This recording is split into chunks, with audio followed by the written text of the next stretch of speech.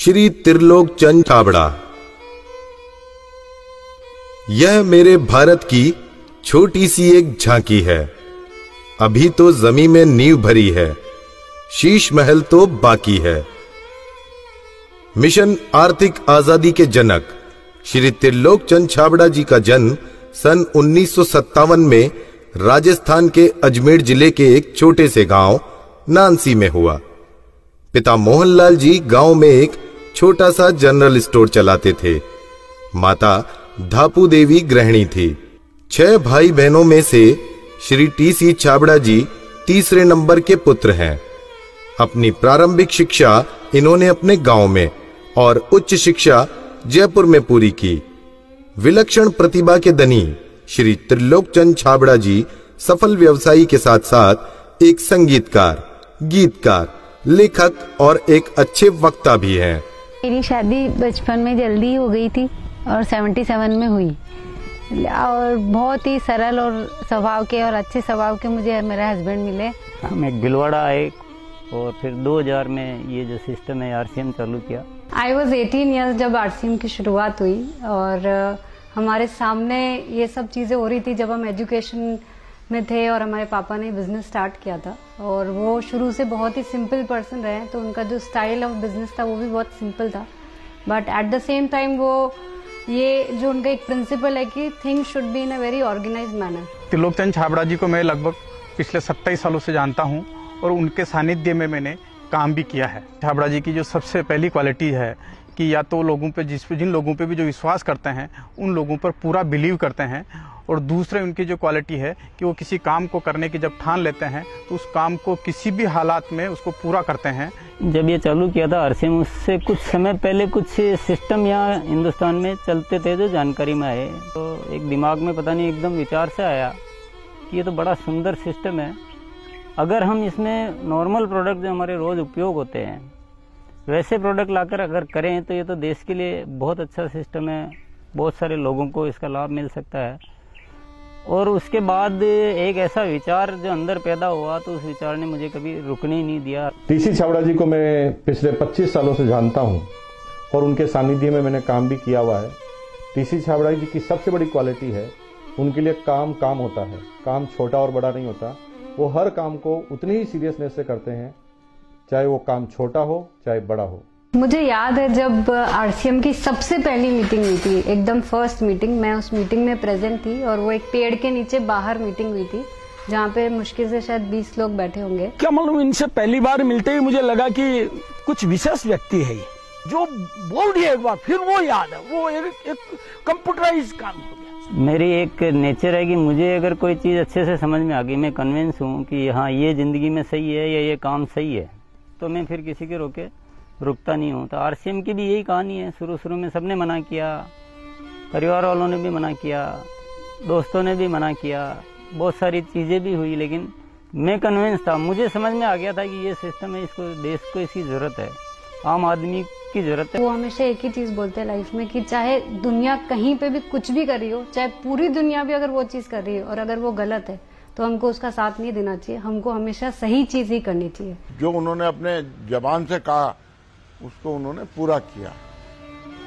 जबान के सच्चे, ये उनमें मानता है। एमएलएम के नाम पर ज़्यादातर कंपनियाँ कुछ महँगे प्रोडक्ट लाती है, उसमें और ज़्यादा कुछ उसमें से बांटने की कोशिश करती है। और हम आरसीएम में ऐसे क्यों प्रोडक्ट लाते हैं जो बहुत कम रेट में होते हैं? बहुत ज़्यादा इधर कुछ चीज़ों को हाई फाई करना या कुछ बहुत ज़्यादा हर कहीं खर्च कर देना तो मेरे को कुछ महँगी चीज़ खरीदना पसंद नहीं है लाइफ में। तो मेरे को जो पसंद नहीं है, मैं बेच कैसे सकता हूँ? हमारे हिंदुस्तान का मिशन मंगल इसका एक बहुत बढ़िया उदाहरण है। कि उन्होंने उस पर्टिकुलर बजट में उनको बनाने की सोचा तो उन्होंने वो चीज़ बना कर दी। ये कोई भी वादा करते हैं वो पूरा करते हैं। और इन्होंने जो सोच लिया कि मुझे ये काम करना है वो करके रहते हैं। और इन्होंने जो भी सोचा ईमानदारी से कर रहे हैं पूरा। बहुत सारी चुनौतियाँ आई इस काम को करते हुए। बहुत सारे लोगों ने साथ निभाने का वादा किया साथ चले काम को आगे बढ़ाया। फिर उनके मन में पता नहीं क्या लालच आया। तो उन्होंने पूरा बाहर जाकर एक नई कंपनी शुरुआत की और पूरा आरसीएम पर अटैक करना चाहिए और आरसीएम के सारे लोगों को, सारे सिस्टम को तोड़ने की एक बार नहीं, कई बार बार बार ऐसे प्रयास हुए जब जब ऐसी घटना हुई है, तब तब आरसीएम में बड़े निर्णय हुए हैं।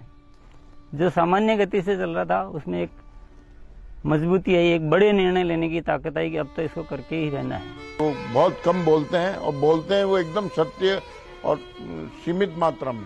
डायरेक्ट सेलिंग सिस्टम एक बहुत बड़ी बात सीखने को मिली कि लोगों को कभी भी आप ओवर कमिटमेंट मत करो। 2011 में जो हमारे साथ में ये गवर्नमेंट का हुआ उसमें बहुत अलग हमारे पर इफ़ेक्ट हुआ इस चीज़ का कि ये भी होता है क्या लाइफ में ऐसा?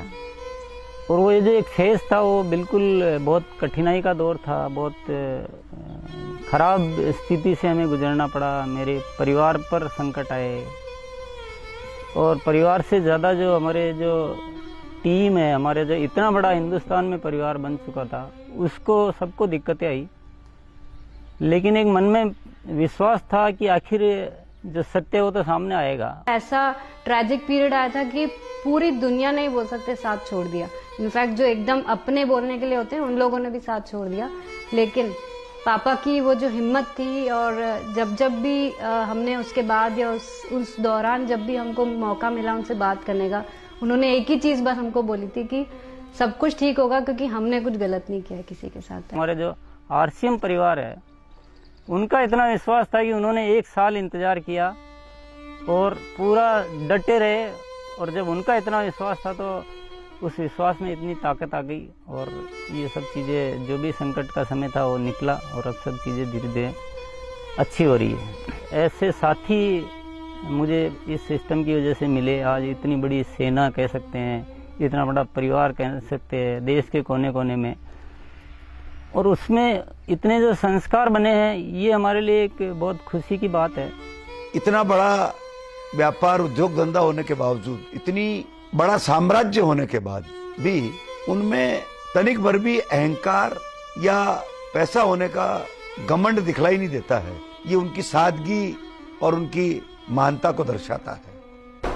मुझे मेरे फादर इन लॉ की एक क्वालिटी सबसे अच्छी लगती है कि वो आज इतना बड़ा बिज़नेस करने के बावजूद भी वो इतने डाउन टू अर्थ है कि किसी को भी विश्वास नहीं होता जब मैं उन्हें उनकी बातें, उनके किस्से सुनाती हूँ। एक छोटी सी बात ले लीजिए। अगर हम जब भी खाना खाते हैं हम डाइनिंग टेबल में बैठ के खाते हैं पर वो आज भी प्रेफर करते हैं कि हम ज़मीन पे उनके साथ बैठ के उनके साथ भोजन करें। त्रिलोकचंद जी छाबड़ा एक व्यक्ति नहीं आंदोलन है। उनके जीवन में उन्होंने बहुत संघर्ष तो किया ही है। लेकिन सबसे बड़ी बात उनमें है सादगी और सच्चाई। आरसीएम की शुरुआत से ही मैं काम कर रहा हूँ और जब आरसीएम बिज़नेस की शुरुआत हुई थी तो टीसी छाबड़ा जी की एक सोच थी। कि दुनिया में जो कंपनियाँ आती है मल्टी लेवल मार्केटिंग में, वो बड़ी बड़ी और महँगे महँगे प्रोडक्ट लेकर आती है। और टीसी छाबड़ा जी की सोच थी कि मैं एक ऐसी कंपनी की स्थापना करूँ जो इस तरह के प्रोडक्ट बनाए, जो इंडियन रेट में हो इंडियन कल्चर में हो इंडियन मेंटालिटी को सूट करते हो और आम आदमी उस बिज़नेस को कर सके, आम आदमी अपने जीवन को बदल सके। 2016 में इसकी गाइडलाइन जारी की गई भारत सरकार द्वारा।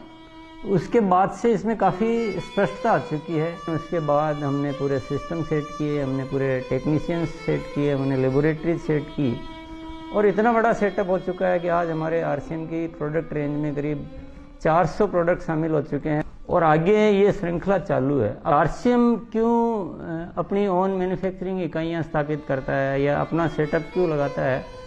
इसके पीछे जो मुख्य कारण है कि आरसीएम ने अपने प्रोडक्ट डेवलपमेंट में चार कमिटमेंट कर रखे हैं कि ये चारों चीज़ें हमेशा रहेगी। पहली चीज़ है प्रोडक्ट उपयोगी होंगे। दूसरा, स्वास्थ्य के लिए अच्छे होंगे। क्वालिटी नंबर वन होगी और रेट बहुत रीजनेबल होगी।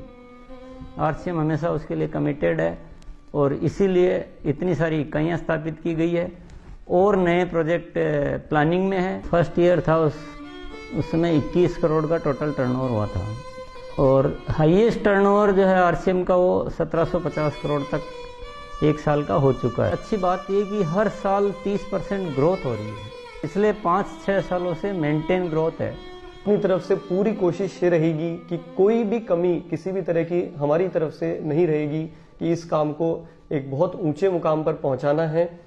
और जब लाखों लोगों के जीवन में अगर हमारे इस छोटे से प्रयास की वजह से अगर थोड़ा भी हम कुछ योगदान कर सकते हैं, ये हमारे लिए बहुत गर्व की बात है। मेरा गोल जो है वो ये है कि आज अपन इस आरसीएम को हिंदुस्तान में नहीं, बल्कि कुछ ऐसा करेंगे कि पूरे विश्व में इसका बहुत बड़ा नाम हो। तो आइए, सदी के इस महापुरुष, आर्थिक आज़ादी के जनक, लाखों लोगों के प्रेरणा स्त्रोत श्री त्रिलोक चंद जी छाबड़ा को हम सब खड़े होकर जोरदार तालियों की गड़गड़ाहट के साथ ओजस्वी उद्बोधन के लिए आमंत्रित करते हैं। खत्म। Bye bye tata good bye गया।